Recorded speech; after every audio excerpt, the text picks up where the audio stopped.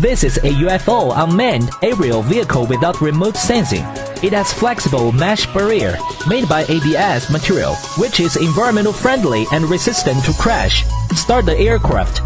Through to make it fly.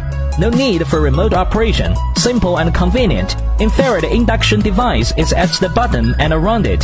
It has the function of automatic avoidance. With encountering obstacle at the bottom, it will rise automatically.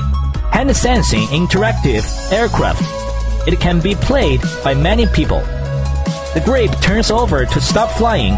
Click on its power button to switch into high-speed mode.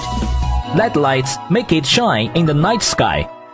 USB charging, safe and durable, add flying fun. UFO induction vehicle without remote sensing.